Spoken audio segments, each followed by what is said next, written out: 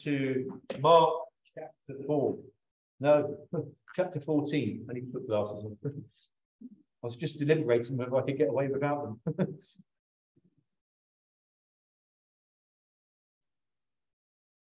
We're going to read from Mark chapter 14. We read from this last week and we saw in the opening verses from uh, 1 to 11 that uh, Mark brings before us um, a holy sandwich, a holy sandwich that in the first part there, uh, there are those who are plotting to take the life of the Lord Jesus Christ, uh, faithless people. And then in the second part, there was a lady who had great faith in the Lord Jesus Christ, who sought to anoint his body uh, for burial. And then in the last part, we returned in Mark's sandwich to the base layer, as it were, the middle part, the filling of the sandwich. We returned to the base part, which was Judas faithless, selling his faith for some money and willing to betray the Lord Jesus Christ. So that was what we considered last week in verses 1 to 11. Now we come to verse 12, and I have a heading in my Bible, reading from the NIV this morning. I wanted to change it actually and read from the ESV this morning, but then uh, when I looked, and, and I was going to use the ESV tonight, when I looked, the NIV was better for this evening's reading, and uh, the ESV was better for this morning, and I thought that would confuse you all. So we have the NIV both morning and evening and this this week. So uh, because we'll be reading from uh, the same chapter. You got that? Good. Uh, this morning we're reading from verse uh, 12, and the Word of God says this. Just a small section this morning, 12 to uh, verse 16. Word of God, Mark 14 and verse 12. On the first day of the Feast of Unleavened Bread, when it was customary to sacrifice the Passover lamb, Jesus' disciples asked him, Where do you want us to go and make preparations for you to eat the Passover? So he sent two of his disciples, telling them, Go into the city. The man carrying a jar of water will meet you follow him.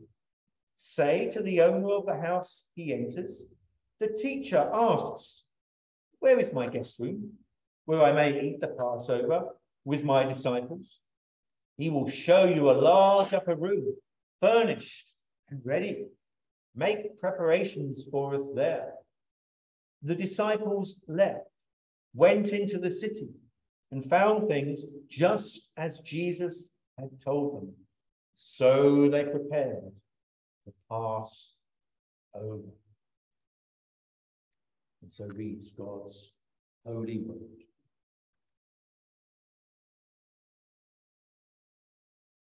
One time I was employed as a painter. Don't employ me to be your painter because I'm not a very good painter. It was to paint some outside walls. And as I was painting the outside walls, having uh, scraped them a bit and so forth, painting them. Someone who lived in the block of flats said to me, Oh, isn't it bright? Lovely and white, looks like ice cream. And sure enough, it did look like ice cream. Only about three or four weeks later, after I'd finished, because I knew this man who lived in the block of flats, I went to see him and I cringed because that which had looked like ice cream had now the beginnings already of a green stuff coming through. And it wasn't something that complements ice cream either. It was a moldy texture coming through. I hadn't prepared the surface of the wall properly. Actually, in fairness to me, I had asked at a decorating centre and they said, no, you don't need anything other than just scrape it back a little bit. That's fine. I needed a stabilizer. I needed to prepare it with a stabilizer, but I hadn't done it. And so all the old stuff, uh, started to come through. Need proper preparation. I once worked with a builder in one of my many trades that I've done. I once worked with a builder. Uh, I won't give his name, but we'll call him for ease. We'll call him Cuthbert. Cuthbert the builder. There you go. Cuthbert the builder. And he was in charge. Uh, to my frustration, what I found was that working with Cuthbert the builder, he never sat down beforehand and calculated not only the cost, but the requirements, the materials, the things that would be needed for the job. And so each and every day we'd start off having to go to the builder centre or having to go to brewers or somewhere else to get more supplies. And even in the middle of the day, oh, hang on, down tools, let's go now and drive to the builder centre again. We need one of these, we need one of those. He never, ever seemed to be prepared, was never really ready to do the job properly. And, these verses that we read this morning puts you that it's clear that they're about preparation. They're about preparation. And preparation in Mark's gospel is big. It's big. It's a word preparation he only uses five times, and each time it's for something big. The first time he uses the word preparation in the Greek is right at the beginning of his gospel. When you read of John the Baptist being raised up and being told to, and even declaring, prepare the way for the Lord, prepare the way for the Messiah, prepare the way for Christ, even the Lord Jesus. He was telling people to prepare their hearts because Jesus was here. That was the first time. The second time is when in chapter 10, the Lord is talking about the preparations that are going on, even, well, going on even then, we could say going on even now, in heaven for all God's children. The preparations that are taking place there. But here, in the passage we've just read, in the verses we've just read, it's the final three times that this word preparation is used. It's there three times in these verses. And on the surface, it, it seems like, you know, it's just preparing for yet another Passover. Great time of celebration for sure. The most holy of the Jewish festivals for sure, but it's just another Passover.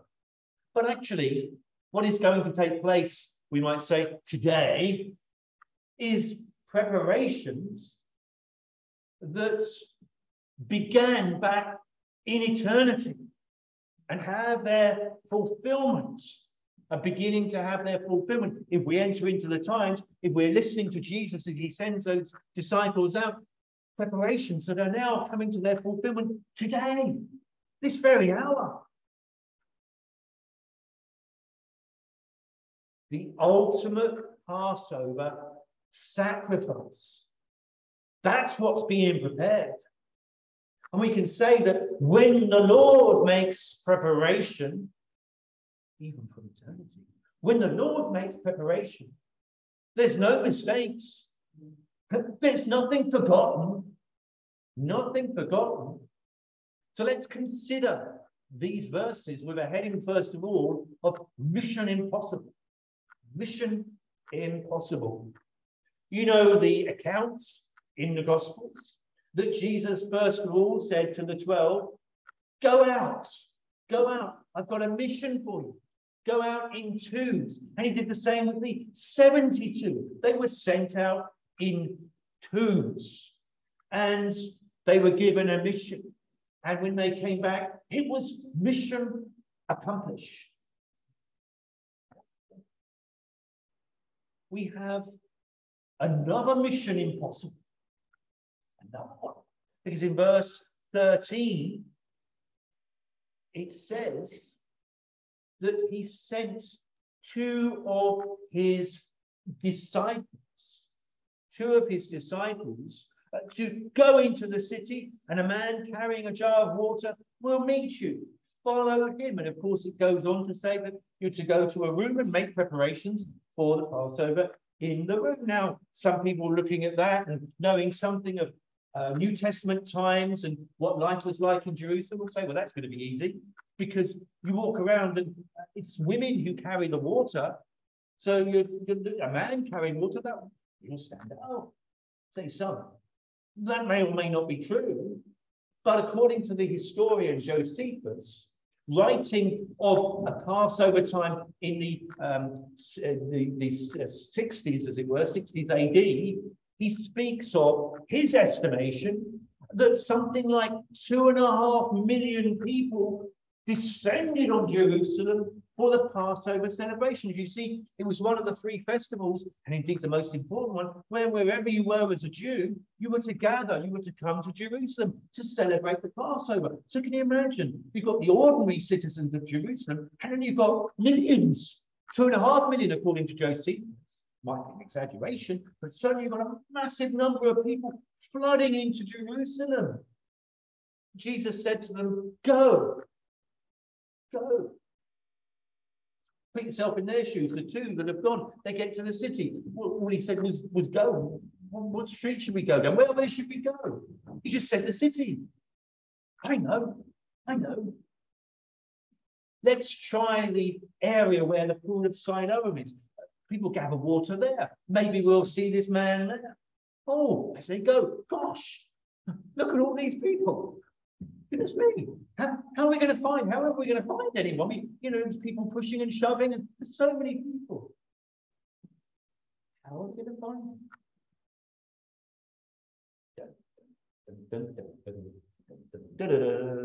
What's that? Mission Impossible. I know I didn't do it very well. But it's Mission Impossible. Have you ever watched Mission Impossible?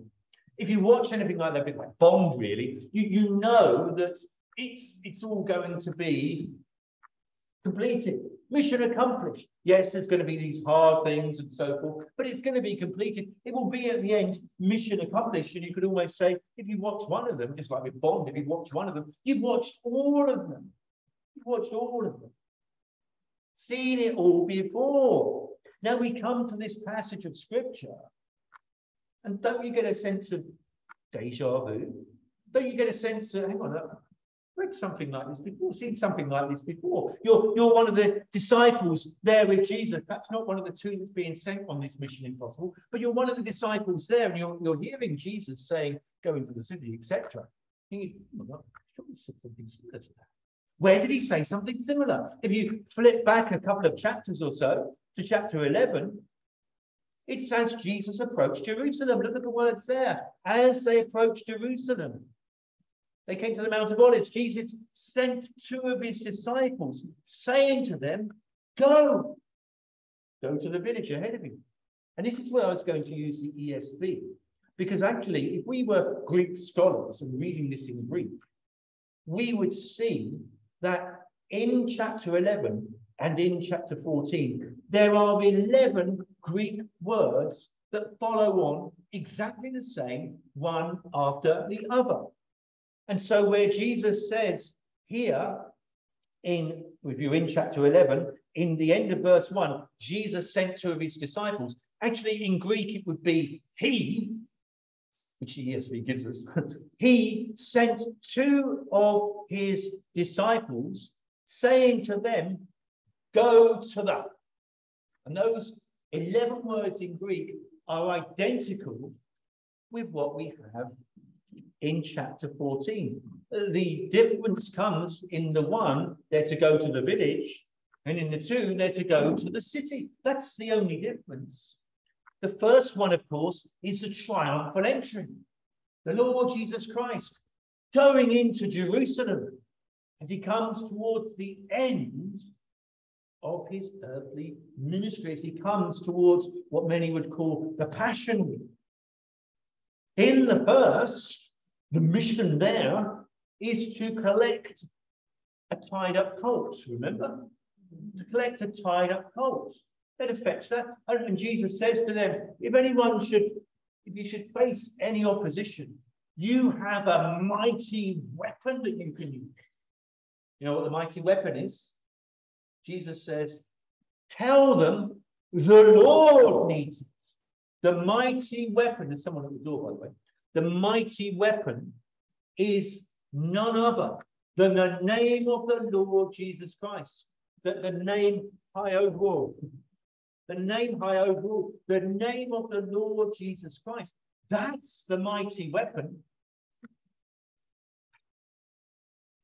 I didn't know someone's gone. We have a slight pause here for anyone on the internet. Someone's just come to the door and uh, several people are going to answer it. Good morning. Put you on the spot.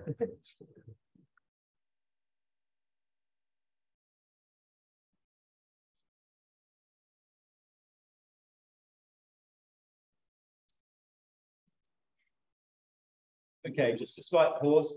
Uh, but we're, we're looking at Mark 14, okay? And we're considering the preparations for the Lord's Supper. And we're just we're relatively near the start, and we're considering. Uh, so it's Mark 14 verses 12 to 16, and we're just considering how Jesus is sending two of his disciples to make preparations. And I was making a comparison, if, you know if you know your Bible, uh, making a comparison with the triumphal entry, which is in Mark chapter 11, and saying how in Greek there's 11 words that are identical, 11 words the same.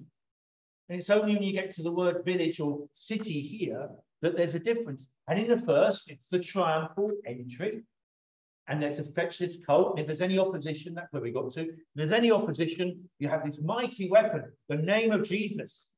And then they will let you bring the colt. And that's exactly what happens. Mission accomplished. Mission accomplished. You see, there, when the Lord makes preparations, there's no mistakes. Nothing is forgotten.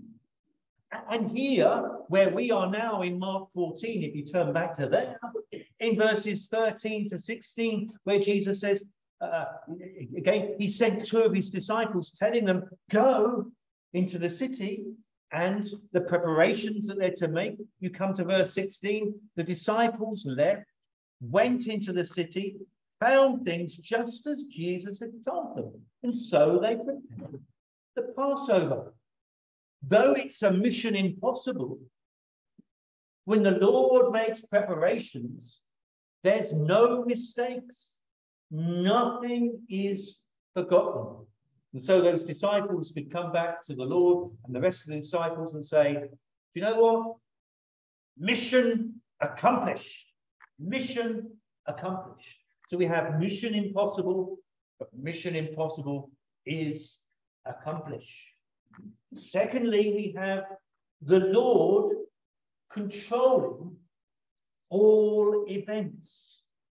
The Lord Jesus Christ controls events. There's our second heading. The Lord Jesus Christ controls events. You say, hang on a minute, hang on a minute.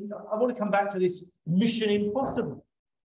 You're talking about mission impossible, and I, I get and see the, the similarities there in chapter 11 and chapter 14.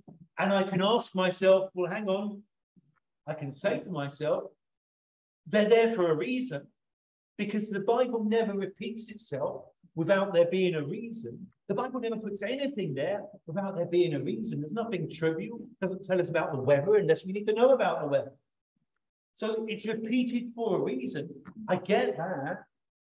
But when it comes to you saying the 12 and the 72 are mission impossible, I can understand that being impossible because they were to drive out demons. So it's only through the Lord working in them in a miraculous way that they could actually do such a thing. Get that? But, but here, why call it a mission impossible? They're just collecting a donkey. They're just meeting a man. But my answer or my response to that would be to say, or to put a question back, what makes it a mission impossible? What makes it a mission impossible? It's not the task they're given.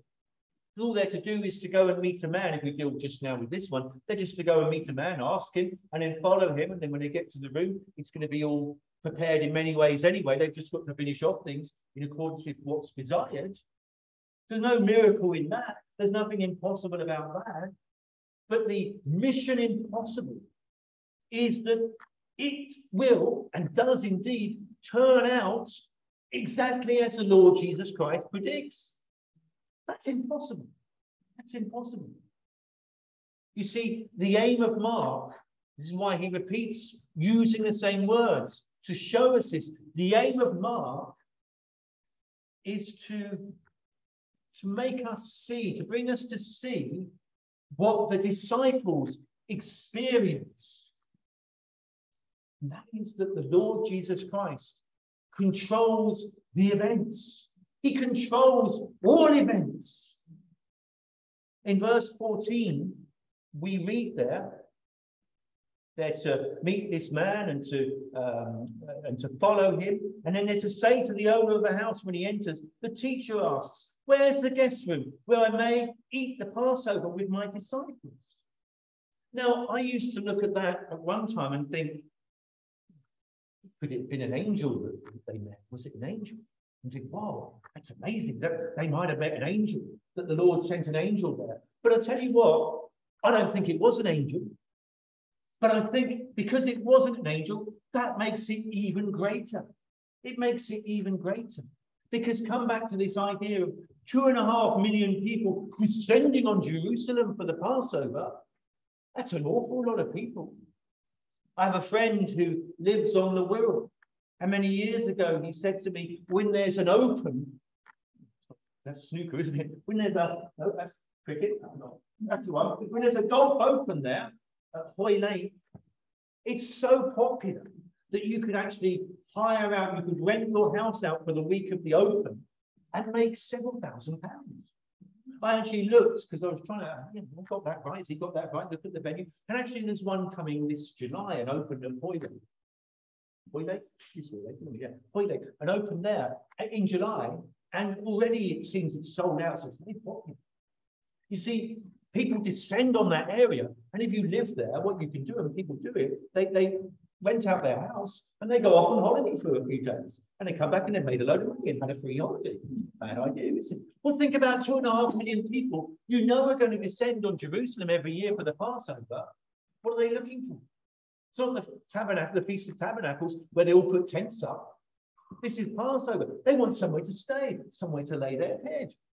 And so there's going to be a demand for property, a demand for rooms. And what I put to you, what Mark is showing us here, is what the proverb writer tells us that the king's heart is a stream of water in the hand of the Lord. He turns it wherever he will. In other words, it's talking about kings there, but we can apply it to all people.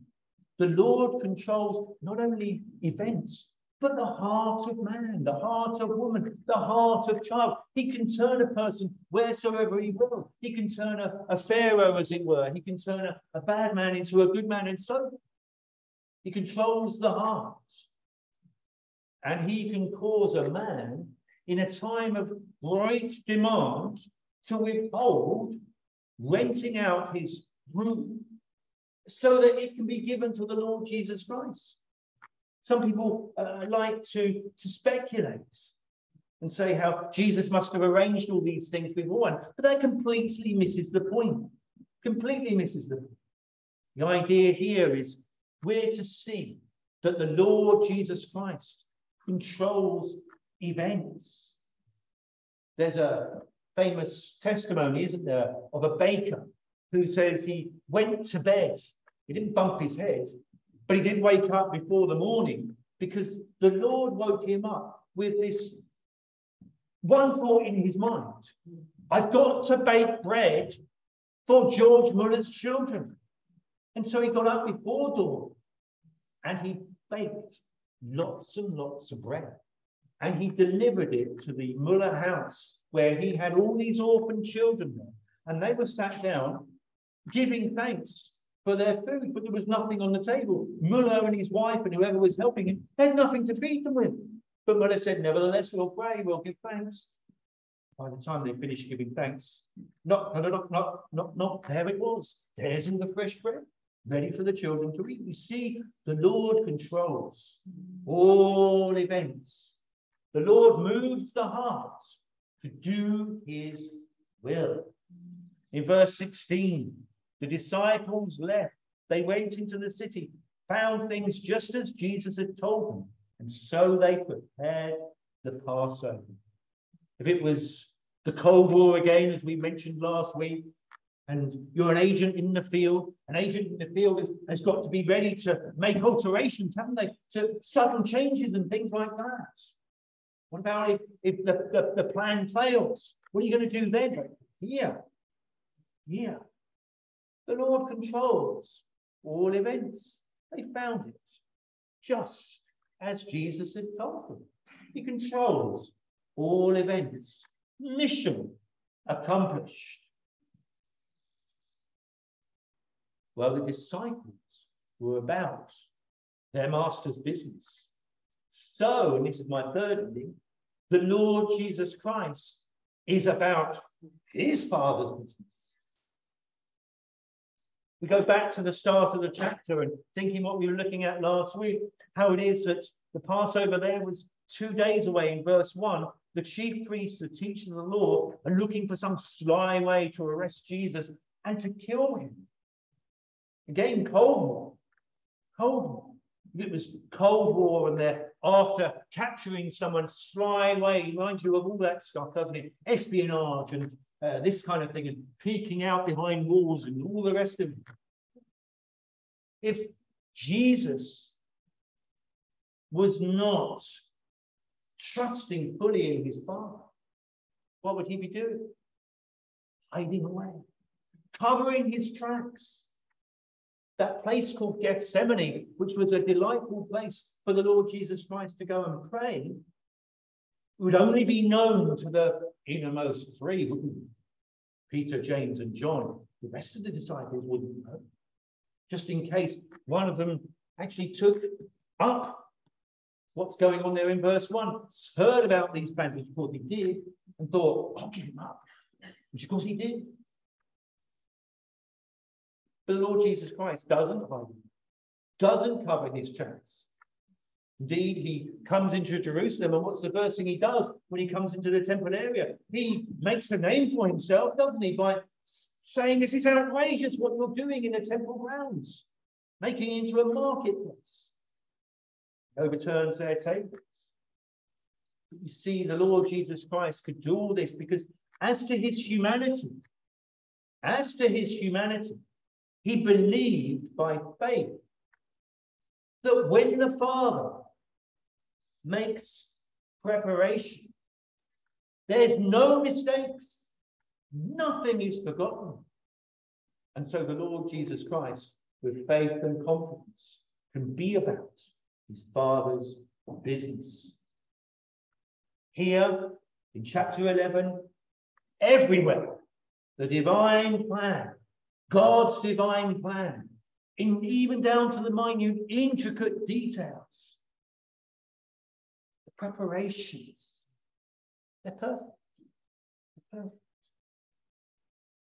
Perfect preparations for this time, as we're reading this morning, even preparations that were put in place in eternity past.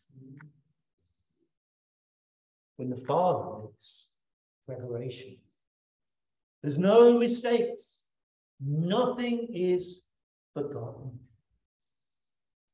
So the Lord Jesus Christ is about his Father's business. And these verses that we've read this morning, they're about far greater things than uh, an annual Passover sacrifice celebration. It's already been hinted at when we saw last week in verses 8 and 9, where this lady uh, pours perfume on his body, preparing for burial how she's preparing the Lord Jesus Christ for his own sacrifice.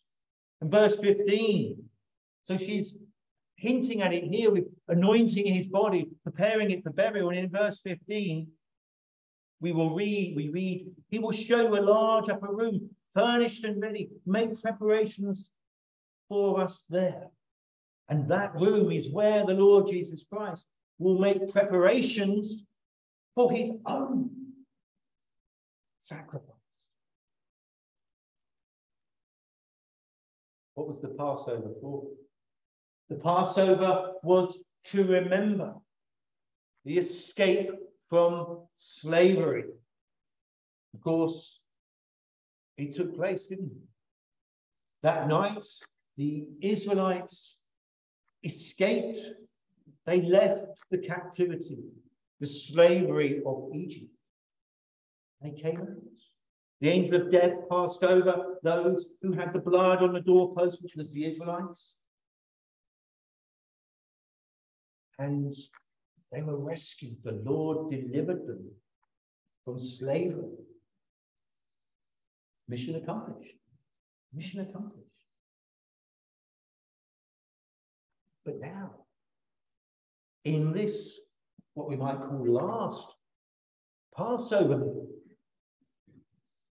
The Passover for the Christian is to be replaced with the Lord's Supper. Doesn't mean to say we can't benefit from what took place with the original Passover and all that's taken place with that. Of course we do. We do. But now our celebration is a different one. We don't celebrate the Passover, we celebrate the Lord's Supper. That's what they remembered the Passover, the original Passover, which brought them out of captivity, of slavery. We remember in the Lord's Supper the ultimate sacrifice. All the preparations of history are fulfilled in the death of the Lord Jesus Christ. And here on this night, oh, like no other, the Lord Jesus Christ would be about his Father's business. But then, fourthly, we can consider the care of the Lord. The care of the Lord. How it is that the Lord cares for his people, the care he makes in preparing for our salvation. And we scratch our head. Not because we've got an itch, but because we well, we've got an itch, an itch in our mind. Actually, that's quite nice. We've got an itch in our mind. We've got an itch in our mind. makes me itchy. Oh, we, how were the Jews missing? They had all this symbol, all these rituals given to them uh, on top of the plan of everything they were given. The most holy sacrifice of all, we might say, the most holy festival of all, of all was the Passover one. How did they miss it? It's all pointing to the preparations for salvation. You ask, well, do that again. You ask, how did they miss it? How did they miss it? All the Old Testament history. Could they not see the real meaning of the Passover? Can you see the real meaning of the Passover? Can you see what it points to? Blood on the doorposts of your house means that the angel of death will pass over. There'll be no slaying, as it were, of anyone inside where blood covers the house. The blood of the Lord Jesus Christ, a sacrifice for sin. Sin. And covered by the blood of the Lord Jesus Christ. The time, the time of this event, the time of Jesus' is coming, the night on which he'll be betrayed, the time in which he will be wrongly convicted and nailed to a cross and crucified, and the time he will be sacrificed. Oh, poor Jew. Can you not see? Poor you if you don't see. This is not chance. It's not a chance thing. Well, that's unusual, peculiar. It should fall at the same time as they have a, a sacrificial meal, remembering the sacrifice of the lamb, a lamb that's spoken of right throughout Scripture, and a lamb that's uh, really is it possible for the blood of bulls and goats and lambs even to take away sin? That's our real problem. It's not chance. Any Jew would know there's no such thing as chance. Think of Jerusalem that day. 2.5 million, if we take Josephus at his word, 2.5 million descended on there with one thought in their mind. One word in Sacrifice. Sacrifice. Sacrifice. 2.5 million people plus Jesus is here. Jesus is here. And if there was one word on their mind as they were coming, sacrifice, there's one question on the heart at that time, I don't doubt, of all the Jewish people. Who is Jesus of Nazareth? Could he be the Christ? Could he really be the Christ? When the Lord makes preparations, there's no mistakes. Nothing is forgotten. And the timing of this, there's other things we can, other ways we can apply this, but here for us this morning, the timing of this event is to show to the Jews and to show to the whole world that Jesus is the true the only Lamb of God who can take away the sin of the world. What does a tutor do? What does a tutor do? Tutor prepares you for life. You're a tutor, you're a school teacher, you're preparing a child for life. It's an incredible privilege, isn't it? Wonderful task to prepare someone for life. Be a tutor preparing someone for their life to come. Now, if if the law was our tutor, as Paul tells us in Galatians, if the law was our tutor, what's the most important lesson that the tutor can teach? What's the most important lesson? When I was at school, one 10 is 10, two 10 is 20, three 10 is 30, four 10 is 40. And you do that with all the times tables. And, and actually, by the age of nine, I was an expert. Yeah, I, there's a word I wouldn't use lightly, but I, in my own humble opinion, I was proud, proud at that time. But I, I was fast at doing the tables sevens and eights, even those awkward ones. Sixes were my favorite. I was fast at doing them. How's that? Well, because it was repetition. It was repeated uh, with a, a, kind of a rhyming voice, just as you did with the ABC as well, wasn't it? A, B, C, D, you know, all that sort of stuff. I don't know whether they changed it, no, they probably have, but, but that's how it was. And the repetitiveness meant that you learn these things. They went in there. The law is the schoolmaster. What's the tutor do? Prepares us for the life to come. What's the most important lesson? The law as the tutor can bring to us. It's repeated over and over every year with the Passover. You know, the, the way the celebration would take place, the family would come together and there would be the father or the lead male of the house and uh, divided into four parts, the was. Uh, but at the start, at the beginning of it, the youngest son, he'd obviously been, um, you know, primed for this with the right words. He even got it down, I don't know. Remember to read backwards because that's how we write it and so forth. And there he is, and, and he's, he's, he's going to ask the question. Why is this day different to every other? Ah, and then the lead of the house starts to expound and explain the Passover events and so forth. And so this, and even even down to what they were eating, the bitter herbs and the lamb and all these, everything had a, a meaning and a purpose. And the lead male would explain all these things. That's repeated again and again, so that you get it into your mind. And if the lead male was a true believer, they want it in your heart. Repeated over and over. The Passover to remind them of the deliverance from slavery.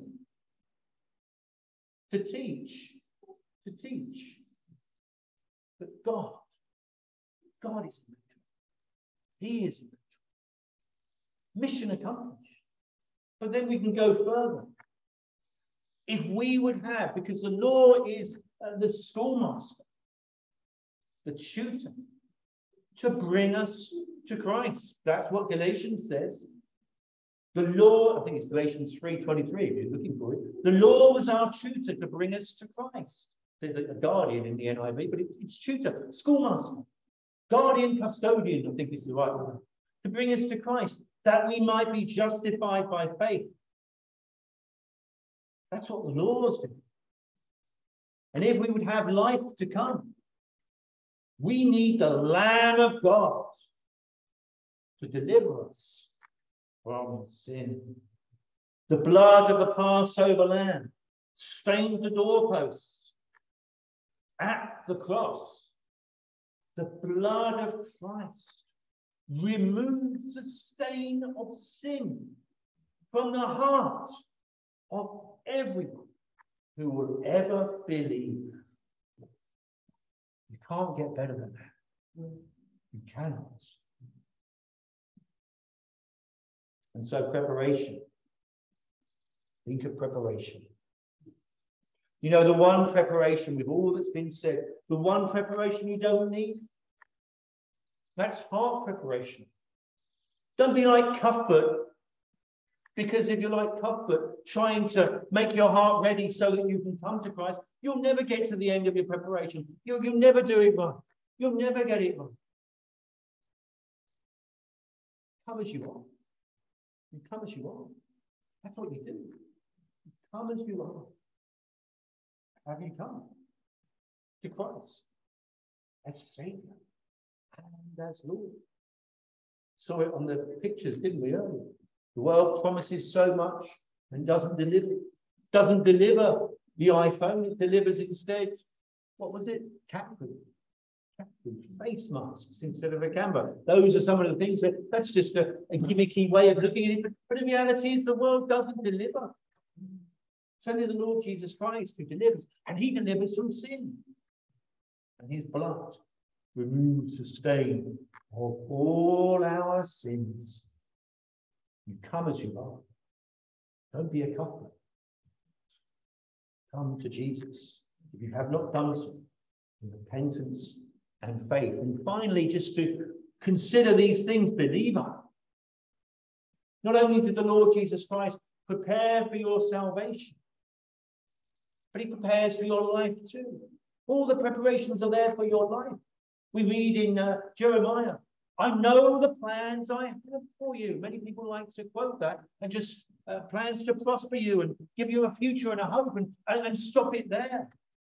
But actually, if you read the passage, if you look at the passage, it's a letter to the exiles. They're in exile because of their sins.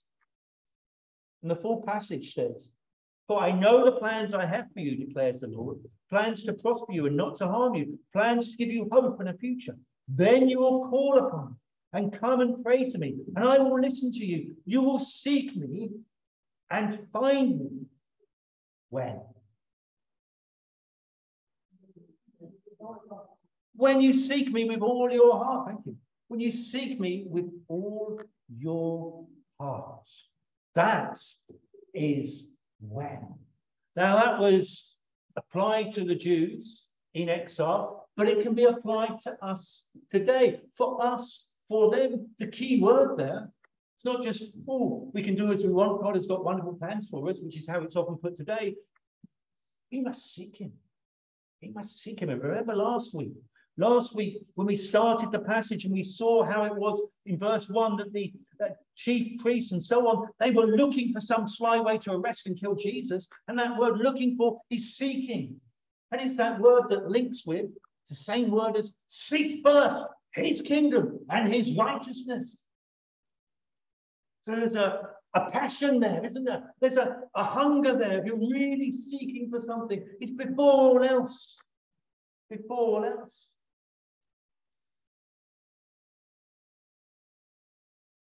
Our life.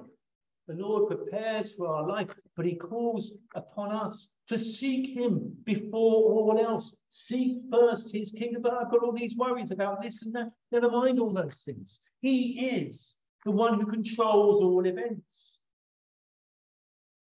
He will meet your needs according to his riches and glory in Christ Jesus.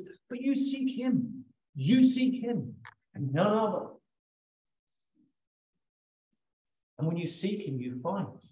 He will provide. The care of the Lord, he will provide.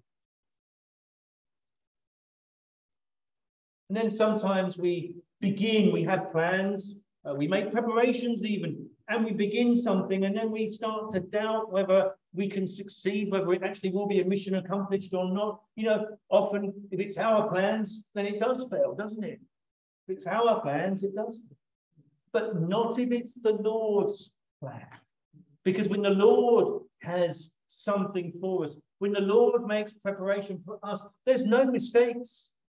Nothing will be forgotten. And it isn't an easy path. We know that it's a tough path. In this world, we will have trouble. But the one who controls all events has overcome the world. So we can go forth with confidence, with faith in the one who controls all events.